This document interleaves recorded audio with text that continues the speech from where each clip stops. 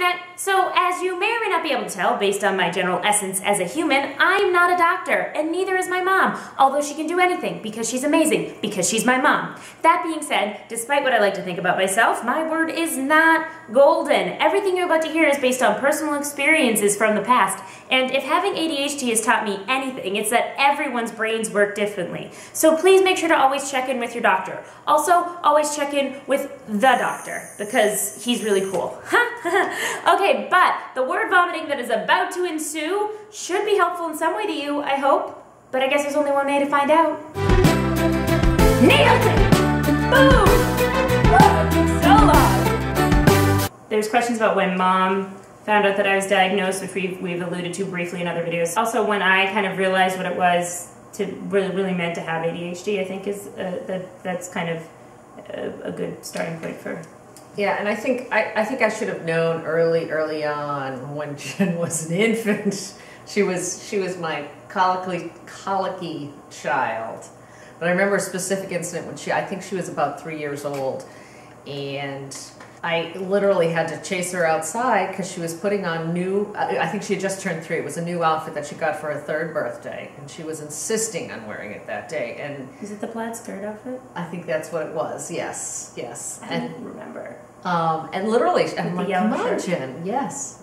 So I, I remember that saying, oh my God, I've got my hands full here. Yeah. You know, and, and um, at that point I looked at it as an assertive personality. So, okay, um, I need her to be assertive as she's a woman in this world. Assertive, being assertive isn't a bad thing. Only when she's dealing with her mother, it could be a challenge. We Uh, didn't really work through that one, did we? like I said, I think, you know, early on, I should have had clues a yeah, little more. all kids are hyper. Right, but I, I remember at one point being um, at a beach family vacation and one of my friends saying to me, Wow, she's a lot of work. And it wasn't, and this was still when you were younger. This was probably when you were third or fourth grade. So you were still like, trying to figure out how to cope and deal with, you know, what with exactly what everything was, and for us to all understand it still. It was still an understanding process. And I think in retrospect, I think I could have learned more about the diagnosis. And I thought I was doing well learning about it, but I think there's still more, and I think in, in, I um, also think more has come out since I, I think there's a whole lot more information out there available, and I would just avail myself to as much of that as possible. And then for me, I knew I had ADHD as soon as I diagnosed, and I uh, okay, you have ADHD. I had no idea what that meant. My parents presented it to me as nothing more than just a thing. Like I didn't understand that it even made me different for the most part. But I was always kind of oblivious anyway. And then I remember, I specifically remember being in the library in my middle school, and for some reason I was looking through a book on mental illness.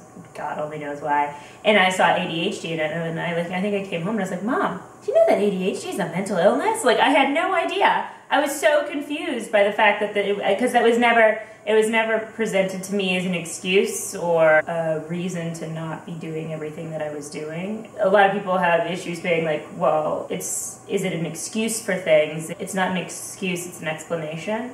Is how I look at it. I'm not saying that it's okay that I do these things, but this is why I do them, and you need to understand why I have to do things certain ways. And that was something that the, the whole not an excuse and explanation thing didn't come to me until like college. I always felt like I was using it as an excuse for a long time, and then kind of in college, kind of. I think I did study education briefly in college before dropping it, and uh, developed an understanding of the explanation versus an excuse and things like that.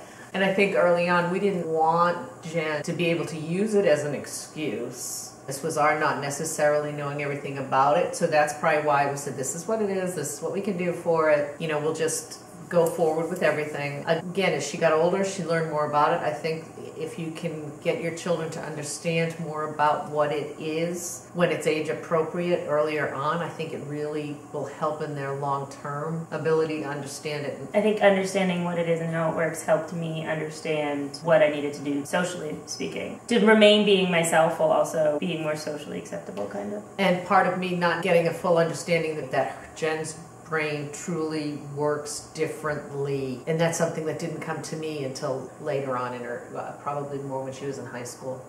When I started understanding that it was working Yeah. differently. Wow, that was super funny, or interesting, or insightful, or wow, me, and or me and mom. Thank you for sharing that information. So I noticed that none of these Q&A sessions seem to have endpoints in when we're answering questions. So here's our endpoint. That's it for this video. Thank you for watching. Please hit that like button if you liked it. Hit that subscribe button if you really liked it. Uh, the rest of this month is going to be a lot of Q&A videos as much as possible. So yay! Just a guided tour around this end slate too. We've got last video, next video, and the playlist with all the videos in it. Also all of my social media. Cute little Santa hats on it. And Elsa! So that's cool. Um, thank you for watching again. I love you guys, and I'll see you next time. Bye! Yes, this is the same for every video. Maybe I'll change it eventually. I studied at, you can tell it's getting late.